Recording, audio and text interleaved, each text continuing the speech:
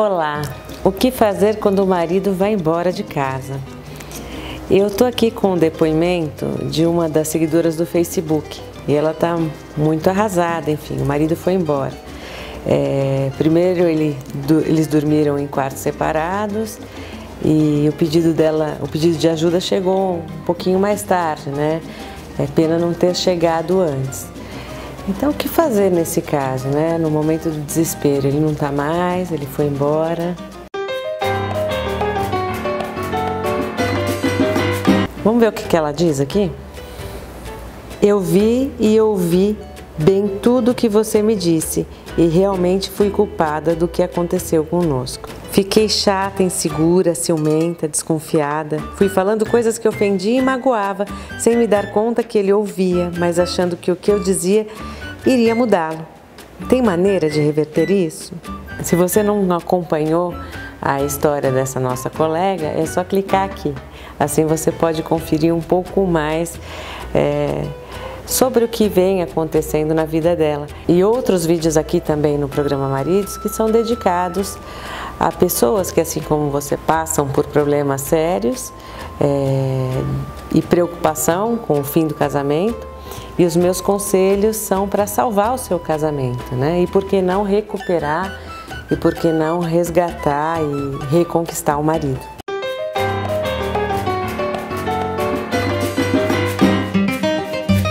Olha só que ato mais egoísta, né? A gente ofender o outro achando que ele vai mudar. Poxa, se você quer que o seu marido mude, troca de marido, né? Não é justo. Ou então fica com você mesma, já que você gosta de fazer tudo do teu jeito, já que você acha que o teu jeito é certo, né? Você, querido, eu sei que se arrependeu e quer mostrar isso para ele, né? É difícil, porque a gente tem que exercitar isso, né?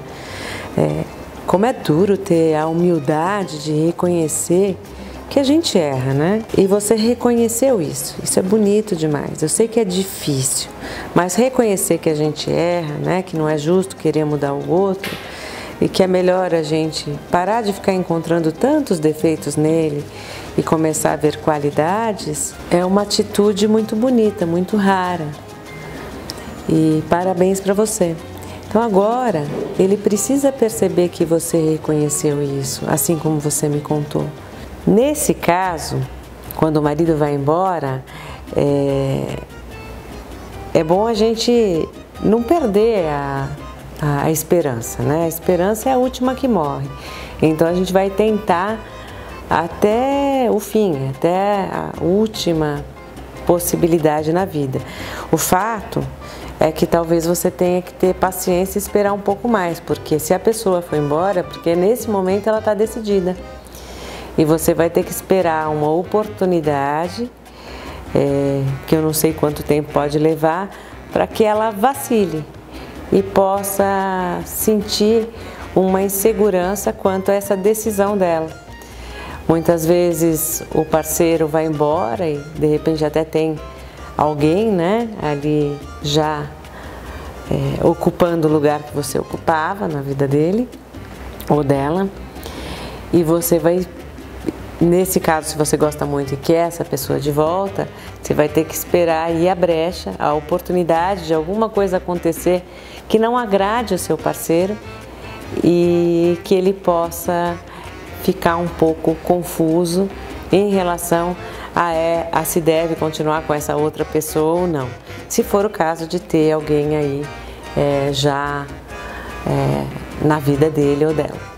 O meu conselho para você é continuar então com persistência, agradar essa pessoa mesmo à distância. Se vocês têm um filho, por que não conversar uma vez por semana, uma vez a, a cada 15 dias, é, um jantarzinho para esse marido, um cafezinho, uma hora que vocês possam conversar à vontade.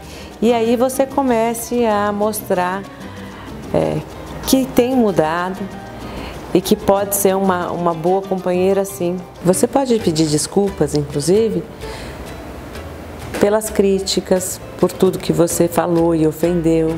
E aí a oportunidade de, de mostrar para o seu ex-companheiro e grande amor da sua vida que você vem mudando e que ele pode confiar nessa mudança. Quando alguém deixa a gente, é porque alguma coisa incomodou, né? E, e, é importante que a gente saiba, ou entenda, ou perceba que o outro quer que essa mudança aconteça. E aí cabe a você decidir se, se vale a pena ceder, se vale a pena renunciar de algumas vontades que você tem. Quando a gente quer ficar junto, há perdas e ganhos, né? A gente perde algumas coisas pelas renúncias que a gente tem que fazer, mas a gente ganha outras. E aí você precisa avaliar e equilibrar, né? Para não viver em conflito com alguém e entender que se para o outro é importante aquilo, é, você vai precisar atender a essa expectativa para continuar bem com essa pessoa ou não, né? Ou decidir ficar sozinho. E aí sozinho você faz o que você quiser da sua vida, né? Mas não é o caso, você quer ele de volta, você quer ela de volta. Então é a hora de, de agradar com nesses pequenos e raros encontros, encontros é, especiais, onde você vai mostrar aquela pessoa que o seu marido ou a sua esposa conheceu lá atrás, que sabe aguardar, que sabe esperar, que é gostosa de estar ao lado, que passa um acolhimento, um, uma sensação de segurança, de respeito, de amizade, de cumplicidade. E é isso que todo mundo procura e quer. Então, agora é a hora de ser muito inteligente e usar a sabedoria, porque em algum momento, no outro lado de lá, alguém que tiver com teu companheiro vai vacilar. E aí é a hora dele lembrar de você, que te tem, e que pode contar com a sua companhia, com o seu companheirismo, com a sua lealdade, com o seu amor. Boa sorte para você nesse momento de reconquistar e de manter o equilíbrio, porque não vai adiantar ficar estressado. É hora de usar bastante sabedoria para atrair o seu amor de volta. Boa sorte! E você que está assistindo o programa Maridos, tem problemas, Precisa de um conselho? Deixa aqui o seu comentário, eu vou ficar contente se eu puder te ajudar. Gostou do vídeo? Então curte e se inscreva no nosso canal.